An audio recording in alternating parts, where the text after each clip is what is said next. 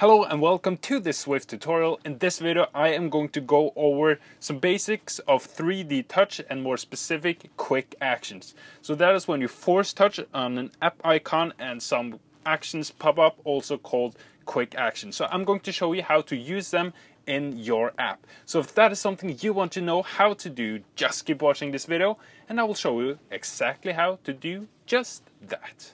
Okay, so let's see what we're able to do here. Do here, I've got my cup of tea. So now let's see if we are able to implement a quick action uh, for our app. So we start by creating a new Xcode project as always, and it's going to be a single view application. Just click next. I'm going to call this quick, quick action. Um, 3D touch, just to make it a bit more complicated. Then I'm not going to use core data and make sure that the language is set to Swift. Okay, I'm just going to save it on my desktop. And now everything that we are going to do is going to happen within this info.plist file. And I think this is a boring file. I don't like being in here because it's so dry and boring, but sometimes you just have to dive into it. And that's what this tutorial requires of us if we want that nice, quick action, that 3D touch quick action. So what I'm going to start by doing is I'm first going to write it and make sure that you write it exactly as I do. I'm pretty, uh, you have to get this right else things won't work. So write UI application shortcut items. Just like that, I'm just going to make sure that I have it correctly. Shortcut items, yes and then I'm going to make it an array and then make sure that you click this arrow right here so that it points downwards and then click on plus. Now this is going to be a dictionary just like that and again make the arrow point downwards and click on plus. Now item number zero, so this one right here is going to represent one of the options that the user is going to be presented with when he does the 3D touch on the app icon. So what we first have to get in place is these two things right here. So I will link this in the description if I remember to do so, but I will try my best. And we are going to, you see these two are required. So that's the UI application shortcut item type. So this is going to be the identifier that uh, we're going to give this quick action. So it's going to be like that. And what I would encourage you to do and what Apple encourages you to do is to take your bundle identifier, copy that, uh, go to info.plist again, go back, then paste it in, then uh, say dot, and then the action name. So this is my action is going to be give the user the option to post an image quickly. So I'm going to say post image. That's what I'm going to call it. Um, because my quick action is going to take my user to a view controller where he can post uh, an image instead of taking him to the initial view controller. So that's all well and good. Now we are going to need an icon. So copy this, I mean the title. So UI application shortcut item title. This is going to be our title of the shortcut that the user is going to be presented with. So click on plus one more time on the dictionary, just like that. And then we're going to give it a title, post image in my case. So now we've got the title, we've got an identifier that the user is not going to see, but we also need an icon, or we don't need it, but I think it looks better that way. So I'm going to head over to this site here also, where Apple has generous, uh, I always have problem, generous, genu they have at least been generous to provide us with some icons.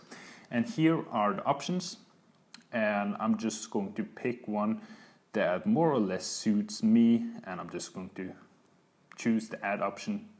And what I'm going to do is I'm simply going to, let's see, I first of all have to copy this UI application shortcut item icon type, copy that, plus on dictionary, add it there, and then I'm going to here type in the name of the icon. So first of all, this is the same for everyone, UI application shortcut icon type and then I'm going to add the name of my icon which was let's see which was add.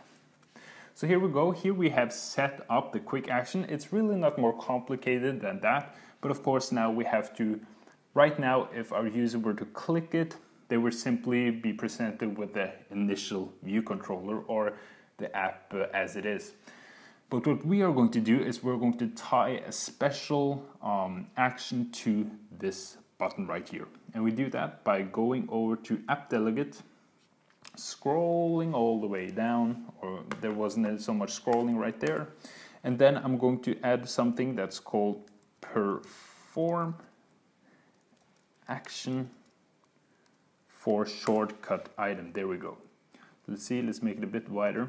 Now what this basically means is that this function, you, you don't need to understand what all this right here is. That's useless right now. Um, but um, all you have to understand is that this function, this piece of code, is run every time a user clicks on a quick action. So every time a user clicks on a quick action item, this piece of code here is called. So what we are going to do is we're going to check, first of all, um, we're going to check which icon was tapped. So we're going to say uh, shortcut item dot type was equal to, now we need the name of that I gave my, right there.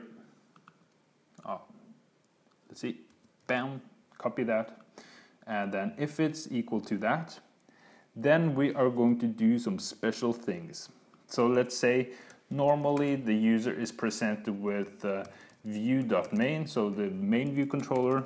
Uh, now you might want to take him to the view controller where he can post an image. So then you would say, um, uh, do it like that so that he is taken to, let's say, go to view controller where user can post image. So that's what you're going to do here.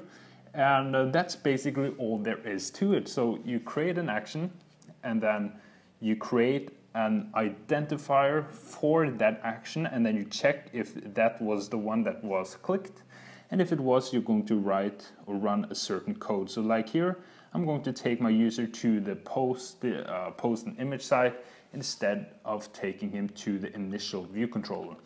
So that's really all there is to it. And the only reason that I'm not testing this is not because I'm afraid it won't work but simply because I, I have an iPhone 5s which won't allow me to test it. And um, so that sucks. But uh, if you have more updated hardware then I would encourage you to try this out and leave a comment saying how well it worked for you because of course that's the only thing I want to hear. So um, thank you for watching and uh, make sure that you click the subscribe button and as always thank you once again for watching